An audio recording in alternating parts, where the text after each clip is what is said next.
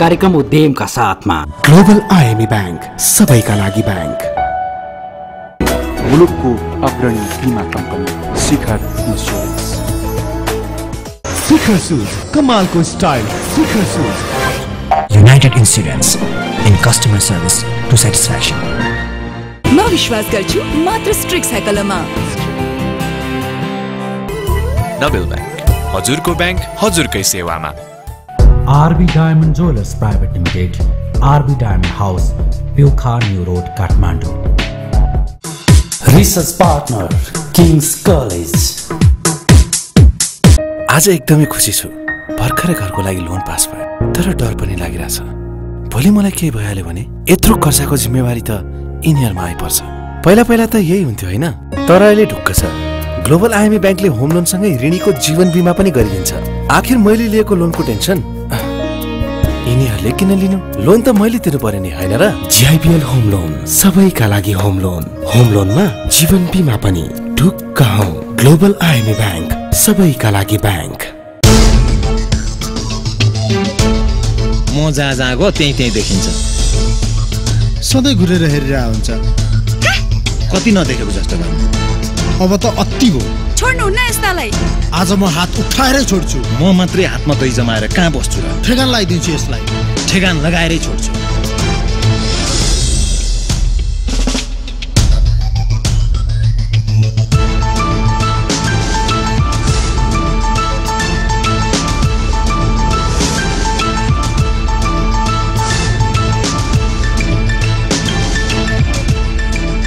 जनहितमा जारी RB diamond jewellers private limited कता दिपक पार्टीमा होइन जसले पनि मलाई आज किन यही सोधिरहेको छ अनि यति राम्रो जुत्ता लाएर हिँडेपछि सोध्दैनन् त। शिखर सुज कमालको स्टाइल शिखर सुज। सोध्दै ए म पार्टीमा जान लाग्यो होइन? यो शिखर सोच्दै राम्रो। सन् उन्नाइस सय चौरासी खोजी एक नयाँ सच्चा साथीको। साथी एक अर्काको विश्वास। हामीले नबिल ब्याङ्क पायौँ। खोजे जस्तै साथी। आज नबिल छ हामी लाखौँको साथी। तर नबिल ब्याङ्कको यात्रा अझै जारी छ। यो यात्रा तपाईँकै साथ र सहयोगमा बढ्दो छ र समृद्धितर्फ अग्रसर भइरहनेछ। नबिल ब्याङ्क हजुरको ब्याङ्क हजुरकै सेवामा। म सबै कुरा प्राकृतिक मन पराउँछु र म चाहन्छु उही विश्वास। मेरो कपालको लागि। ओखरको तेलले भरपूर स्ट्रिक्स हेयर कलरले कपाललाई सुहाउँदो रङ्ग र कन्डिसनिङ फर्मुलाले रेशमी चमक दिन्छ। म विश्वास गर्छु मात्र स्ट्रिक्स हेयर कलरमा।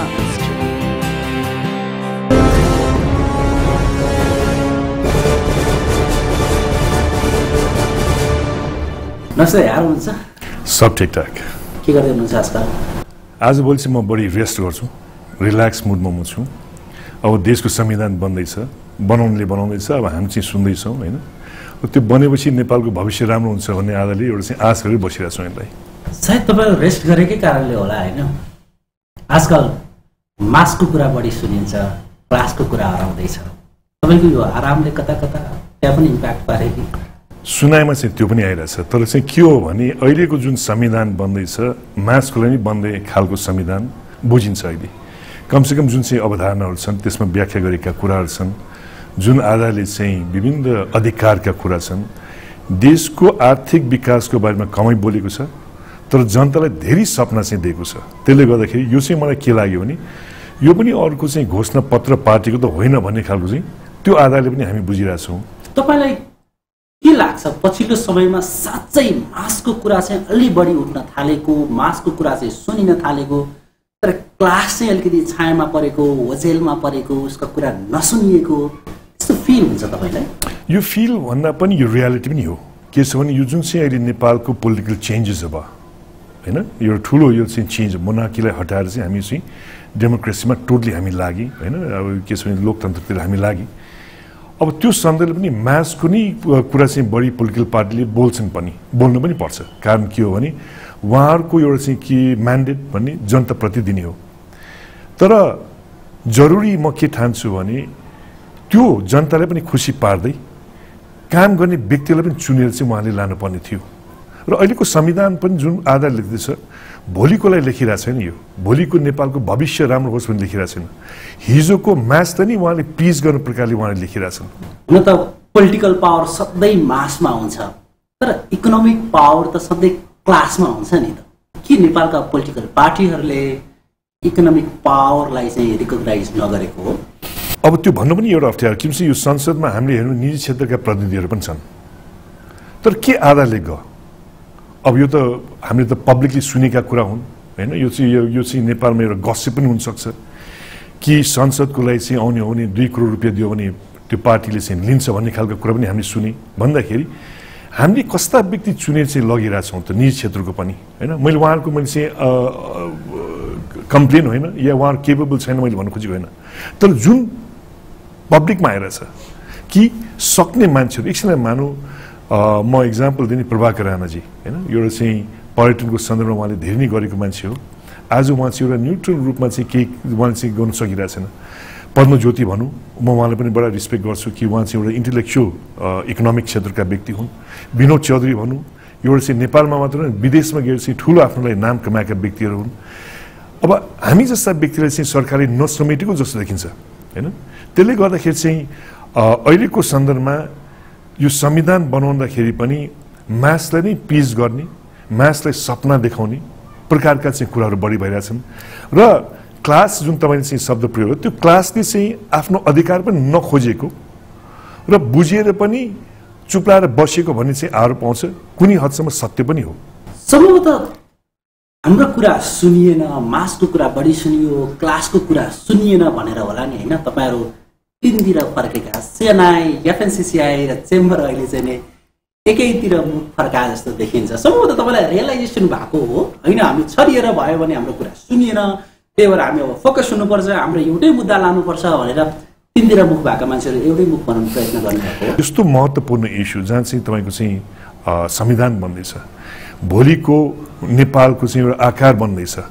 अब त्यसमा पनि हाम्रो विभिन्न प्रकारको चाहिँ भोइस आयो भने यो पोलिटिसियनले झन् त्यसमा खेल्ने हो कि भन्ने आधारले पनि यस्तो महत्त्वपूर्ण इस्युमा चाहिँ हामी एक हुनुपर्छ भन्ने चाहिँ मलाई लाग्छ। अहिलेको नेतृत्व लिने साथीहरूले बुझेर नै उहाँहरू एकजुट भएर चाहिँ यो संविधानको लागि चाहिँ उहाँहरू खुब लागिरहेछ।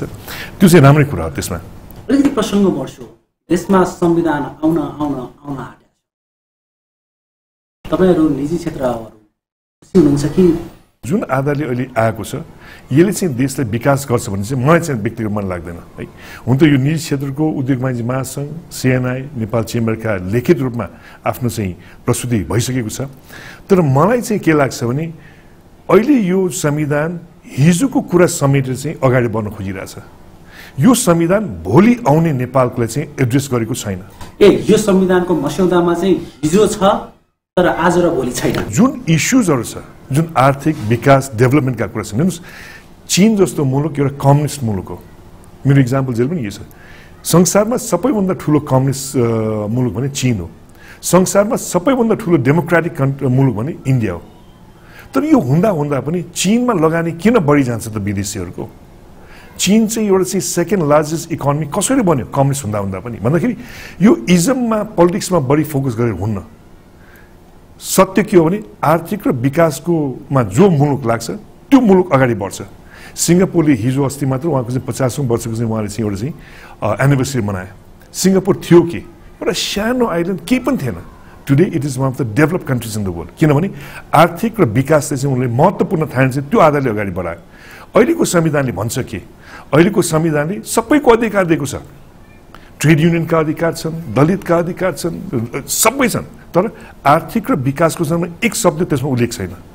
भन्दाखेरि यो के आधार के सोचेर चाहिँ नेपाललाई अगाडि सार्न खोजेको त्यसमा मेरो कन्सर्न हो। भनेपछि तपाईँ खुसी हुनुहुन्न। संविधान आउँदैछ भनेर तपाईँको सं- हर्ष छैन। होइन संविधान आउँदैछ भने त खुसी हुनैपर्छ यो चाहिँ बेसिकली अब के छ भने नेपालले लगभग मेरो जेनेरेसन कमसेकम दस पन्ध्र वर्ष त हामीले आन्दोलनमा हामी चाहिँ यो चाहिँ एउटा आन्तरिक यो चाहिँ भनौँ इन्टरनल वारमै हामी चाहिँ समय हामीले बितायौँ। पाँच छ सात वर्ष गइसक्यो। हामीले चाहिँ जनतालाई संविधान दिन सकिरहेछन्। र खुसी कुन हदमा छु भने ए अब केही हुन लाग्यो है। अब राजनीतिक पार्टी एक भयो है भन्ने खालको त्योबाट चाहिँ खुसी छु। तर जुन आधारले यो संविधानमा चाहिँ डिस्कसनहरू भइरहेछन् अहिले पनि नेताहरूको बढी मात्र हामी के सुन्छौँ? मिडिया मार्फतै हामीले सुन्यौँ होइन? अब भित्रभित्र के कुरा भइरहेछ त्यो हामीले बुझिँदैन। तर उहाँहरूको मेन फोकस चाहिँ कति प्रदेश कसरी लाने को व्यक्तिकोलाई कहाँ मिलाउने भन्ने खालको कुरा हामी बढी सुन्छौँ। तर जनतालाई छुने जुन नेपाली जनता जुन चाहिँ तपाईँको चाहिँ गाउँबाट चाहिँ उसले चाहिँ आफ्नो जग्गा बेचेर मलेसिया या कटारमा काम गर्न चाहिँ ऊ चाहिँ जान्छन्। त्यसको लागि सोच बनाएर चाहिँ यो चाहिँ संविधान लेखेको होइन जस्तो मलाई लाग्छ। त्यो चाहिँ के लेखेको भए चाहिँ त्यो त्यो ती जनतालाई चाहिँ प्रतिनिधित्व हुन्थ्यो त तपाईँको विचारमा? के लेखिनु पर्थ्यो त? हामीले माग गरेको जनतालाई छुने यो संविधान एउटै शब्द लेखिदियो कि बजेटको मिति तोक्दियो। जोसुकै सरकारमा हामीलाई मतलब छैन तर बजेट त्यो दिनमा आउनु पर्यो। यो बडा सिम्पल चिज हो किन यो सबैलाई छुने कुरा विगत पाँच छ वर्षमा बजेट कहिले पनि समयमा आएको छैन किन यो एउटा राजनीतिक मुद्दाको आधारमा बसिरहेछ ल्याउने नल्याउने कसले ल्याउने कसरी ल्याउने भन्यो संविधानले त्यो स्पष्ट गर्यो जनतालाई छुने यसमा कुरा गरौँ अधिकार त हामी सबै छ राइट्स हरेकमा हुन्छन् ट्रेड युनियनका राइट्स हुन्छन् दलितका राइट्स हुन्छन् महिलाका राइट्स हुन्छन् त्यो राइट आफ्नो ठाउँमा छ तर जनतालाई त्यो राइट्सहरू भन्दा पनि बजेट जस्ता कुराहरू समयमा ल्याइदिने। कमिटमेन्ट होस् न। यो कुराहरू भयो भने मलाई लाग्छ फाइनेन्सियल डिसिप्लिन आउँछ नेपालमा र विकास त्यसै हुँदै जान्छ। अर्को कुरा के छ भने हाम्रो डेमोक्रेसी आएकोदेखि हामीले गिर्जाबाउको समयदेखि हामीले देखेको एउटा के छ भने कुनै पनि सरकारले पाँच वर्ष राज गर्न सकेन। कुनै पनि पार्टीले कुनै पनि पार्टीले आफ्नो टर्म फुलफिल गर्न सकेन। जब गभर्मेन्ट अस्थिरता रहन्छ तब त डेभलपमेन्टका कुरा हुनै सक्दैन। किन हुन सक्दैन भने आफ्नो योजना ल्याउन सक्दैन। पार्टीको भनाइ हुन सक्दैन किन छ छ महिना एक एक वर्षमा चाहिँ पार्टी र गभर्मेन्ट चेन्ज हुने हो भने विकास हुन्छ कसरी? भनेदेखि यस्ता कुरा छौँ न। तपाईँले हाम्रो अधिकारमा धेरै कुरा आउँछ। बरु त्यसलाई सानो गर्नुहोस्। तपाईँहरूको पोलिटिकल डिसिप्लिन म्यान्डेट के हुनुपर्छ त्यसमा अलिकति फोकस गरौँ न। म भुटानमा जाँदाखेरि भुटानको राजाको अहिलेको अहिलेको राजाले के भन्यो भने उहाँले पनि उहाँको संविधान संशोधन गर्दाखेरि सबैभन्दा पहिला उहाँले कहाँबाट सुरु गर्यो भने राजाको रोल के हुन्छ भने चाहिँ बाउ छोरा बस्यो अरे। अहिलेको राजा र उहाँको बुवा। र उहाँले आफैले आफ्नो टर्म्स एन्ड कन्डिसन गर्यो साठी वर्ष या सिक्सटी फाइभभन्दा बढी राजा बन्न पाउँदैन। जनताको अधिकार हुन्छ राजालाई हटाउने भन्ने खालको कुरा गरेपछि अनि अनि संविधान देखियो हाम्रोमा कहाँ लेखेको छ? आफ्नो कुरा कसले गरेको छ? त्यसले गर्दा पहिला आफ्नोमा सुधार गरेपछि अरूको कुरा भने देशको विकास पनि त्यहाँबाट हामीले चाहिँ लेसन लर्न गर्नु जरुरी छ। अहिले जुन मस्यौदा आयो तपाईँले के लाग्छ? यो मस्यौदालाई चाहिँ जुन हुर्किरहेको निजी क्षेत्र छ जुन हुर्किरहेको हाम्रो देशको अर्थतन्त्र छ त्यसलाई चाहिँ मलजल गर्छ कि हुर्काउँछ बढाउँछ कि अथवा चाहिँ त्यसको त्यसलाई मार्ने काम गर्छ नेगेटिभ कहाँ छ भने अहिलेको यो जुन चाहिँ संविधान लेख्दैछ यसले चाहिँ साँच्चै नै लगानी गर भन्ने खालको चाहिँ त्यसरी आएको छैन। किन आएको छैन भने एउटा हाम्रो सोसियलिजम भन्ने यो चाहिँ शब्दलाई व्याख्या गर्दाखेरि सोसियलिजम भन्ने के भने सबैलाई बाँड्ने कुरा हो। भए पो बाँड्ने। सोसियलिजमको माने के हो?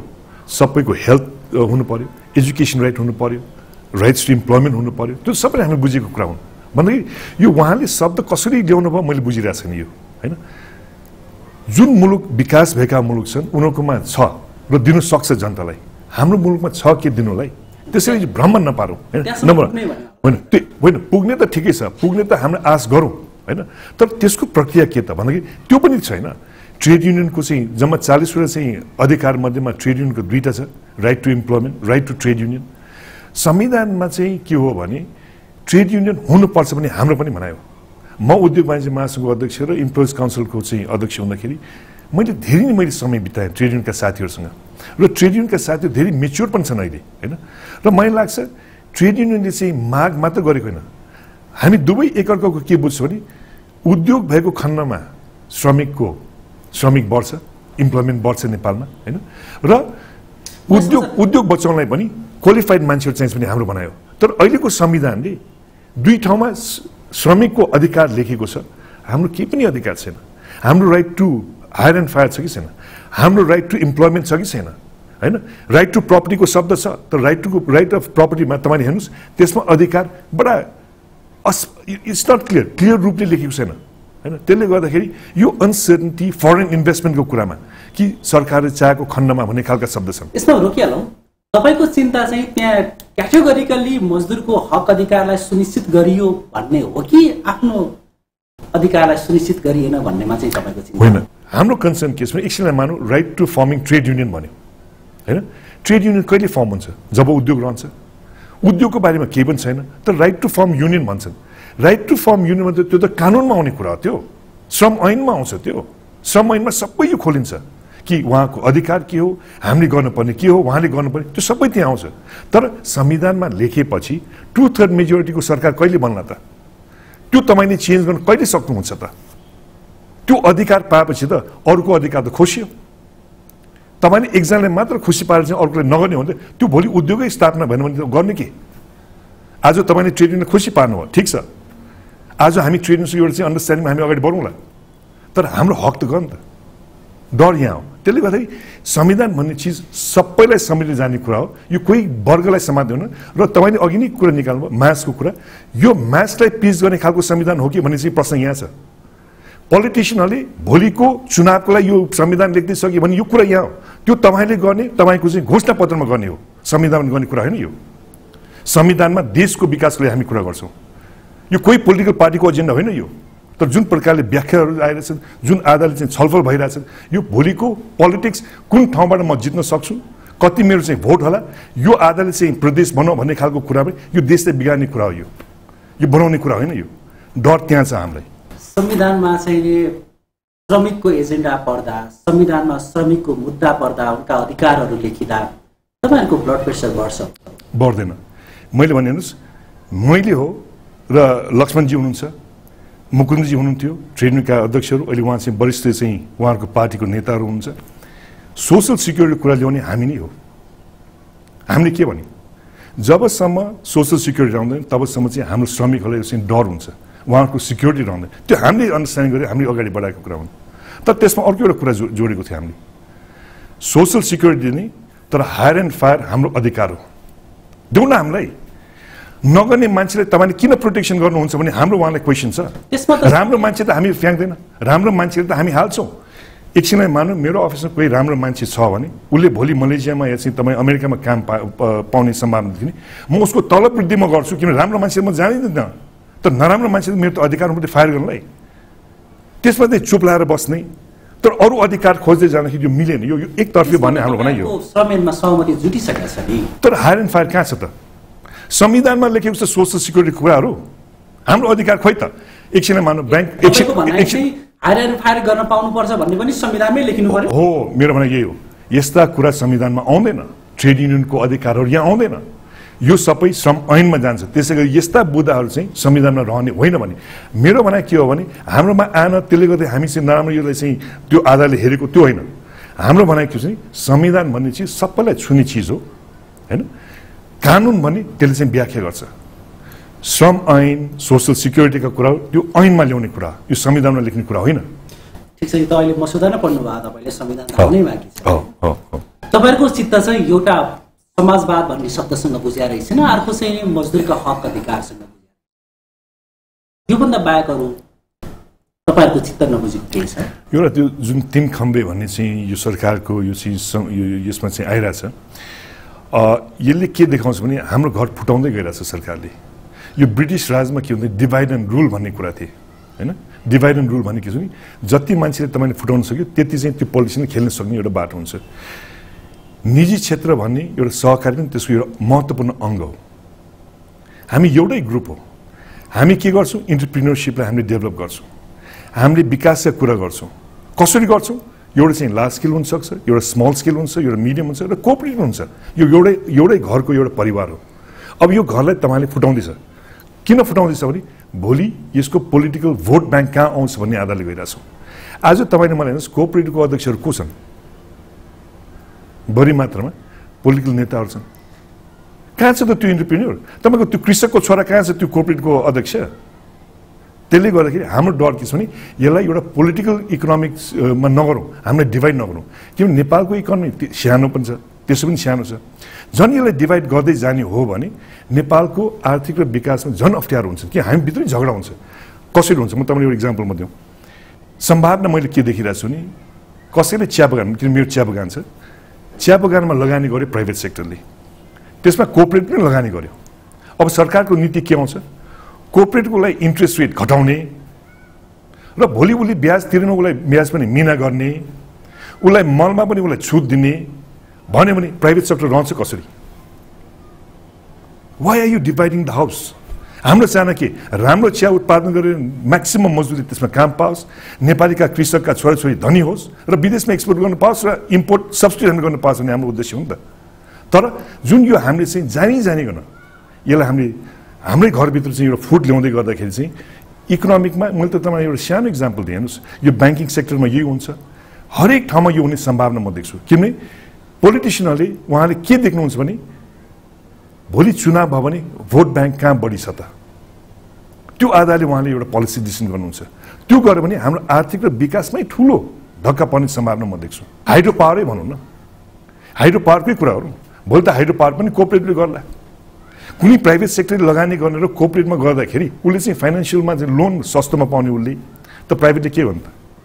यो त एउटा इन्टरप्रिनरसिपै उसले पनि आखिरमा हाइड्रो पावर डेभलप गरिरहेछ हामीमा विवाद ल्याउने हामीमा एक अर्कासँग झगडा गराउने खालको नीतिहरू आइरहेछ।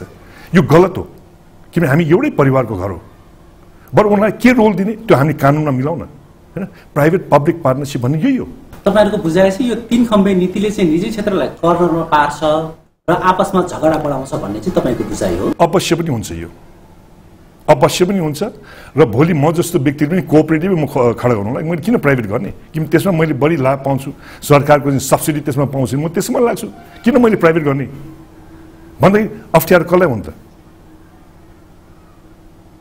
त्यो आधारले सरकारले बुझेर नै मलाई लाग्छ यो भोट ब्याङ्कको आधारमा चाहिँ यसले चाहिँ यो नीति ल्याउन खोजेको यो गलत हो।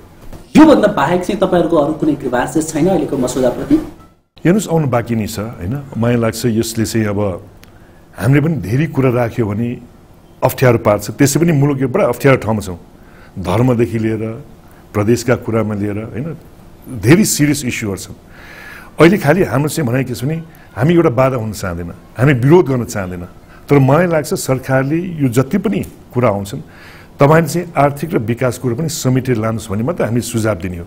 तर हामीले पनि यो पनि भएन त्यो पनि भएन भन्ने खालको बोल्दै गयो भने मलाई लाग्छ मुलुकको अगाडि बढ्न सक्ने सम्भावना नै म कम देख्छु। त्यसै गर्दाखेरि जुन हामीले बुदाहरू उठाएका छौँ लिखित रूपमा हामीले प्रस्तुति गरेका छौँ त्यसलाई उहाँले अध्ययन गर्नुभएको छ र मलाई लाग्छ त्यो सुधार आउँछ भन्ने हामी आश पनि गरेका छौँ।